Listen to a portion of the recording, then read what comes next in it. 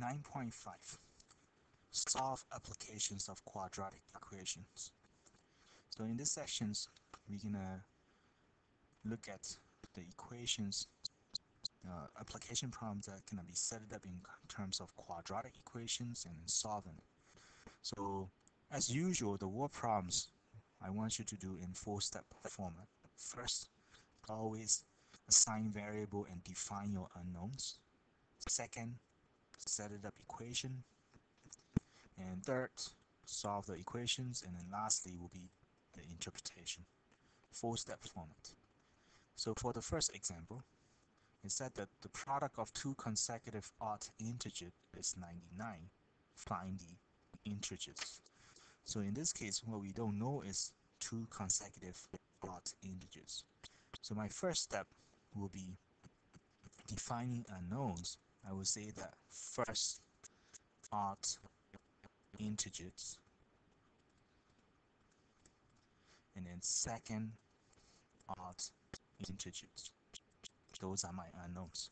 Since they are consecutive odd integers, the units are two units apart. So I can say that it will be first one, the smaller one will be x, and the second one will be x plus 2. So set it up equations, since it said that the product, since the product is multiplication, so so the first number times with the second number that is equal to 99. Now we're going to solve this, so it will become x squared plus 2x is equal to 99. And subtract 99 to both sides. So this will become minus 99 equal to 0. This is factorable, so therefore it will be x minus 9 and then x plus 11. And which give us x minus 9 equal to 0 and x plus 11 equal to 0. So I got two possible solutions. One is 9, one is negative 11. And notice that both of them is odd number. And the problem never taught you that the integer must be a positive integer or negative integers. Therefore, in this case, I have two sets of solution. So now the interpretation, step 4. So first set of uh, answer will be our integers. Okay, integers are, the first number will be 9 and the second number will be 11 because two more units. And the second set of uh, answer is integers are the first number is negative 11 and when you add 2 to it that will become negative 9. So we have two sets of solutions in here. So on the uh, when you do homework, read carefully because sometimes the question will only ask you to find the positive odd integers or find only negative odd, odd integers. Okay, so then you only need to write down one interpretations. Next problem. Find the base and the height of a triangle whose base is 4 inches more than 6 times the height and has the area of 456 square inches. So this is the area problem. In this case, what we don't know is what is the base and what is the height. So A, uh, first step, I would say that base of triangle and then the next one will be the height of triangle. So now if I read the questions again the base is 4 inches more than 6 times the height. So the base is depending on where the height is. So therefore I can say that my height will be x. Now we're going to translate the base, which is what? 6 times the height, and then 4 inches more of it. Now I have the base and the height in terms of a variable expression. We can set it up the equations. Recall, the area of a triangle, area is equal to what? 1 half base time the height. So I'm going to substitute this into this formula so that uh, I can get my equation set. So what we get is 456 is equal to 1 half times 6x plus 4 times the height x. Now distributing it, 456. 1 half distributed into 6x plus 4, that will become 1 half times 6 is 3x. 1 half times 4 is 2. And remember, you need to multiply that again with what? x. So finally, if I distribute it again with x, that will become 3x to the second power plus 2x. Now we are talking about solving quadratic equations. So subtracting 456 to both sides.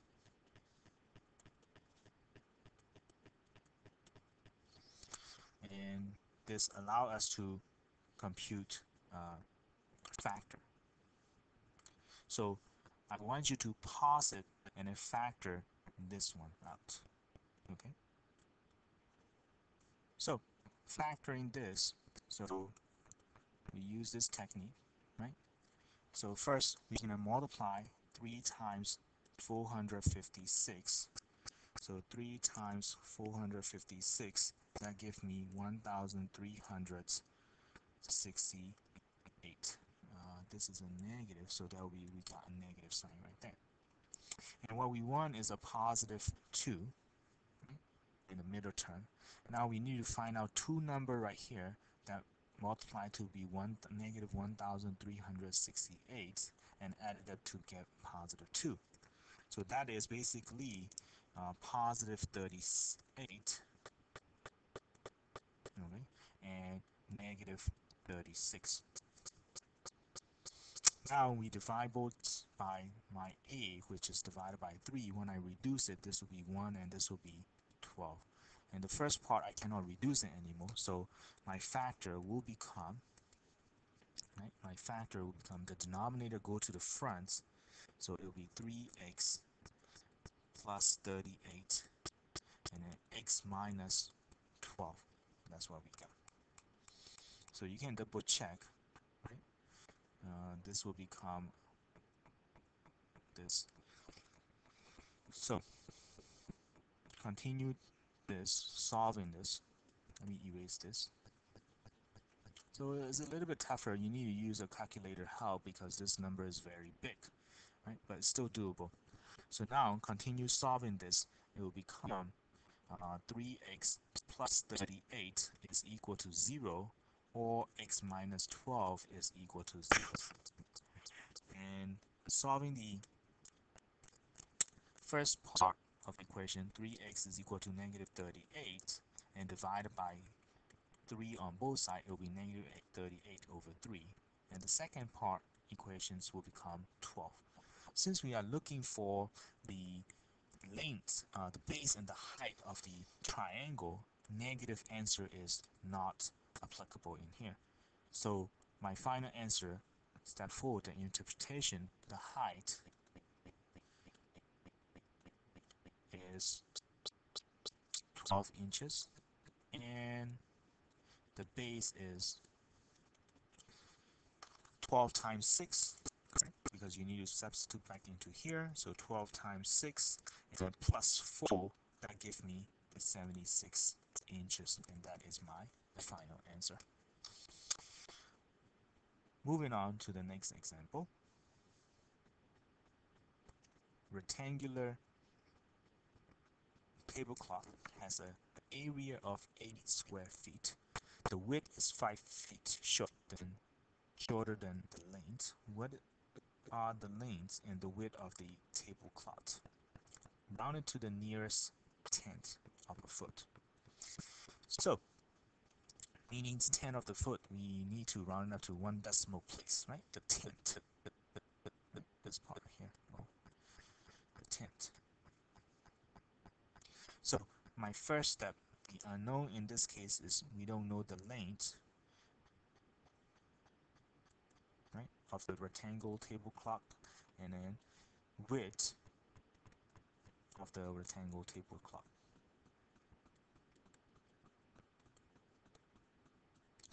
So in this case, it said that the width is 5 feet shorter than the length, so the length is independent.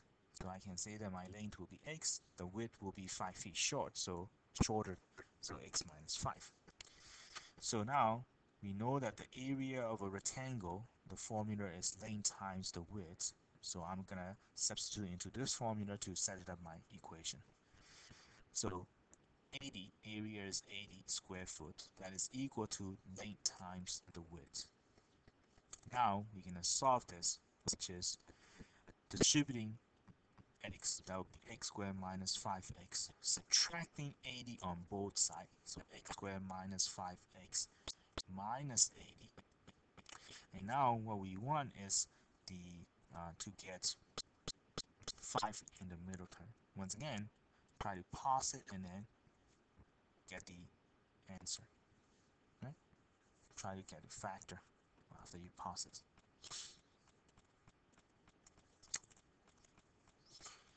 So, 80, I need to get uh, two numbers subtracted to get 5.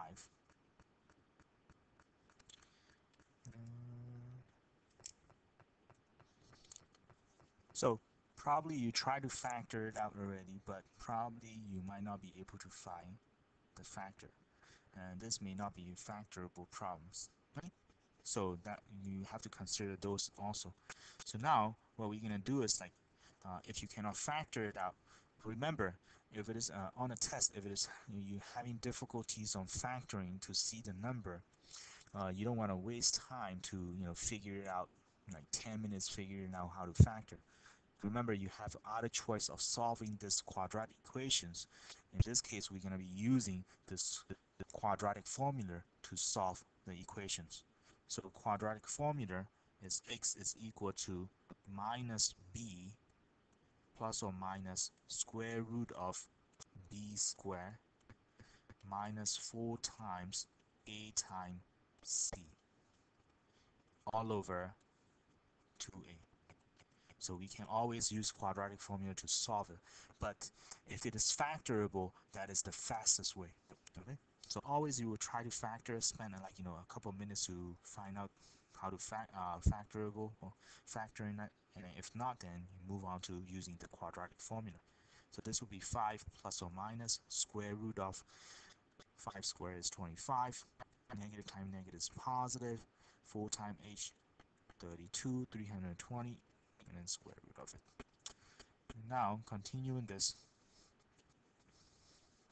that will become uh, my x is equal to uh, 5 plus or minus square root of 345 over 2. Now I'm going to try to break it into two cases. 5 minus square root of 345 over 2 and another one will be x is equal to 5 plus square root of 345 over 2. Now use your calculator to compute this, right? Because we are trying to get a decimal number. Remember, the question itself tells you to round it to the nearest tenth. So 345 uh, minus square root of 345 divided by 2 that give me approximately negative 6.8 if I round it to the nearest tenth place value. And approximation, in the next one, 5 plus square root of 345 and then divided by 2 that gives me approximately 11.8. Since we are talking about the, uh, the length, so the negative number is not applicable. So finally I can interpret it, which is the length. It's 11.8 feet. And then the width is 5 feet less so it will be 6.8 feet. And that will be my final answer. Next example. Example 4 so example 4 it tells you that the sun casts a shadow from a flagpole The height of the flagpole is three times the length of, its shadow. The distance between the end of the shadow and the top of the uh, flagpole is 20 feet. Find the length of the shadow and the length of the flagpole. Okay, so let's try to draw a diagram to visualize this. Okay, so that way it's easier for you to follow. So here's a flagpole, and then this is the shadow going. Uh, the sun is going. Right. So here's my shadow. So in this case, it said that the height of the flagpole. This is the height, and this is the shadow.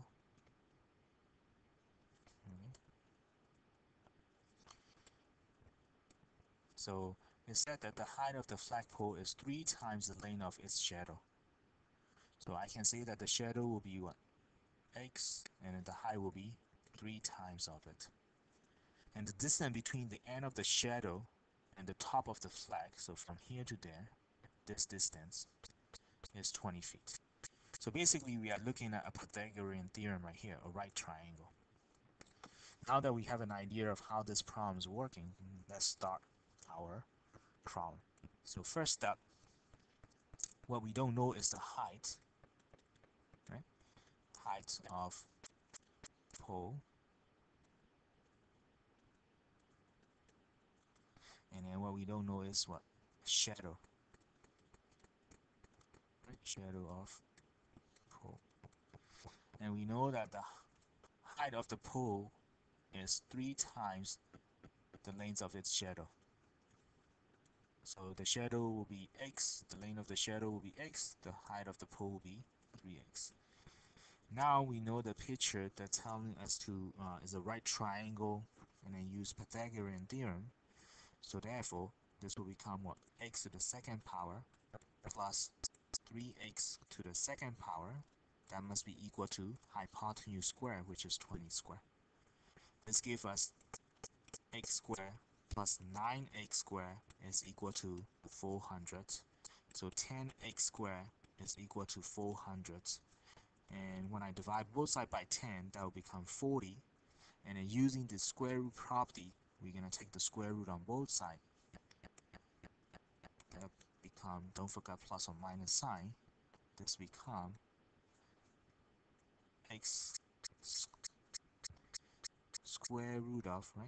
Square root of x squared that is equal to plus or minus square root of 40.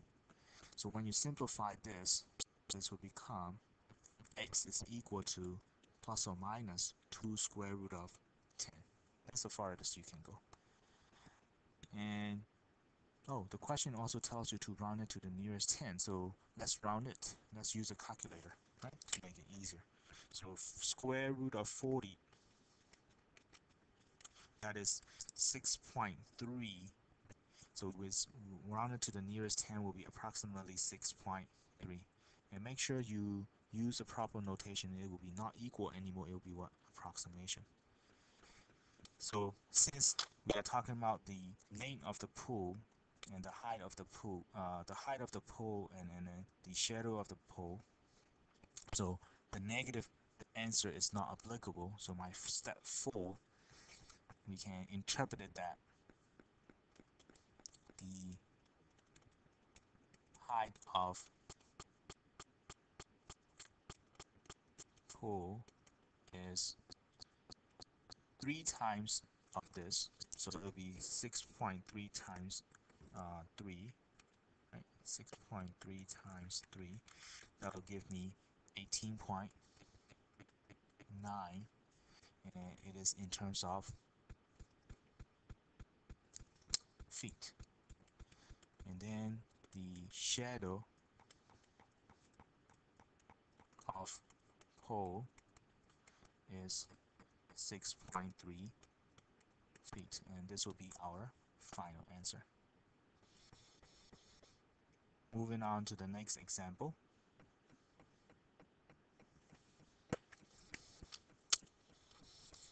So notice I'm also like helping you to review on like you know formulas of area formulas and then Pythagorean theorems. Okay. Now, for this one, Gary just returned from a cross-country trip. The trip was 3,000 miles from. Okay, it's a typo. From his home, and then his total time in the plane for the round trip is 11 hour. If the plane was flying at the rate of 550 uh, miles per hour, what is the speed of the jet stream? So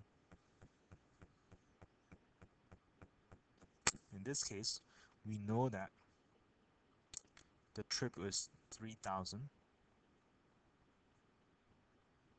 and his total times in the plane is 11 hour for the round trip.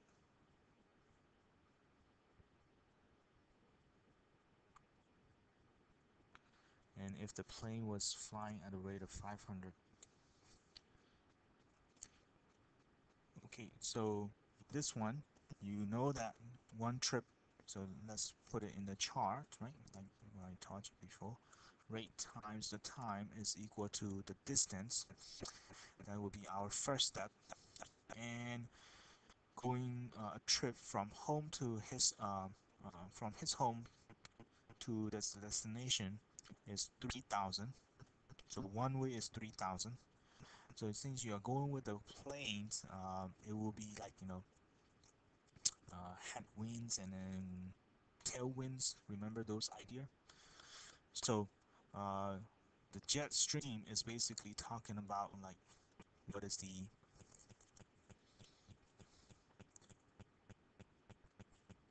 uh, friction is going to be air friction is going to be. So this will be uh, I can say that I have like you know uh, with the wind and against the wind for two cases. Cannot read this part. Against so two cases, and then we don't know what is the speed of the wind, right? That's jet stream. So we know that each trip is 3,000. And it tells me the total time is 11 hour. Right? The total time is 11 hour. So now we know that the rates, if you're going with the wind, that will be 550 miles per hour plus x and if you're going against the wind it will be 550 miles how fast you're going minus x.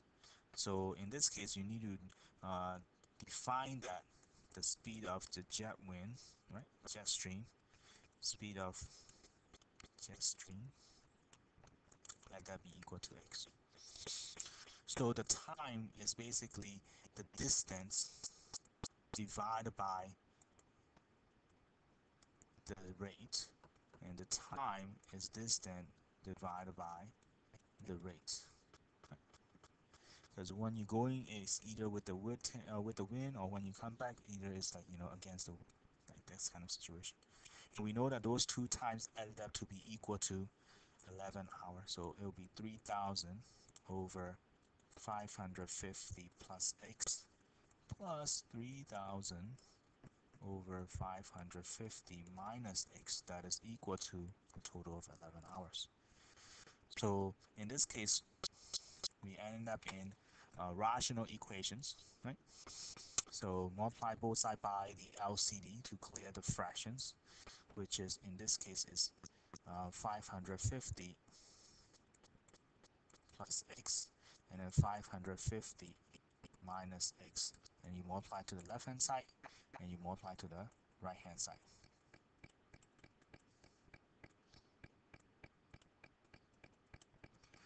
And that will help me to clear the fractions and make it easier to solve it. Right? 550 plus x uh, plus 3000 over 550 minus x and then equal to 11. So when I distribute it, 550 plus x, they cancel out. And then this will left with 3000 times with 550 minus x and then plus when I distribute it into the second one it will be 3000 times 550 minus x is equal to 11 times this. So it will be 11 times 550 uh, square using difference of square format. Right. This. So uh, the number is messy meaning the number is very big but with the calculator it should be okay. So 550 times 3000 that is a very big number which is I don't think it will fit into my equations of the page right here. 165 and then 4 0 and minus 3000 x and then plus 165 4 0 minus 3000 x that is equal to okay, that is equal to and when I multiply 550 times 550 and then you multiply by 11 distributed by 11 so that will become 3, uh, 332 and 570 with 0 extra and minus 11x squared. That's what I got so it's pretty messy number as you can see right? I, it doesn't even fit into one line. So now when I continue it that makes it a little bit bigger because 165 times 2 which is I will get on the right left hand side 330 with 4 0 that is equal to 3327500 minus 11x squared now subtracting it. 3327500 uh, take away from 330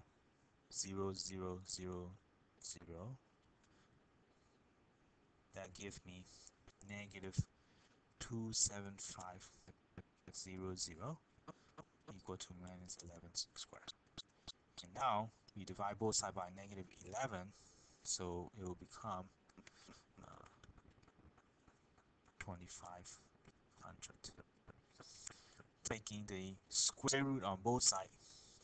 Don't forget plus or minus sign. Square root of x squared. So that will become x is equal to square root of 2500 approximately will be uh, exactly 50. So now I can conclude that my last step, which is my jet stream, right? The speed of jet stream is 50 miles per hour because we can ignore the negative sign. So notice that we are reviewing everything in these sections again that we talked about before. Right? Here you go. The last example is work rate problem if you read it.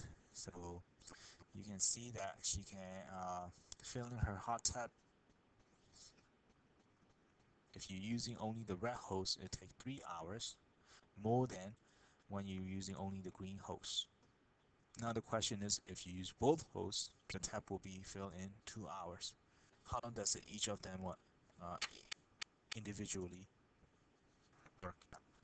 So, as I taught you before, in the chart, we're gonna fill it in the individual case, so which is the red, and then the green, and the formula is rate times the time is equal to job done. Right? So in this case, uh, the job that we are doing in each individual case is one job to filling up the tab. And we know that the time that it takes on the red one is three hours more than the green. So my green hose will be X amount of time it takes by doing itself. The red will be X plus 3. So therefore the rate is 1 over x plus 3 and then the green is 1 over x. That is our first step. And then we know that together time, right? Together time is equal to what? Two hours. So now to set it up the equations, we have set it up on the working together case, which is the rate of the red one, right? Because working together is combined rate, plus with the rate of the green one, that will be uh, times with the total times that they take to finish the same job. So therefore, in this case, I'm going to distribute uh, 2 to both of them. So it will be 2x plus 3, 2 over x is equal to 1. Right? I distributed the 2. Now we're going to multiply by LCD to clear the fractions like before. So it will be x times x plus 3 on the left hand side. And then x times right, x plus 3 on the right hand side.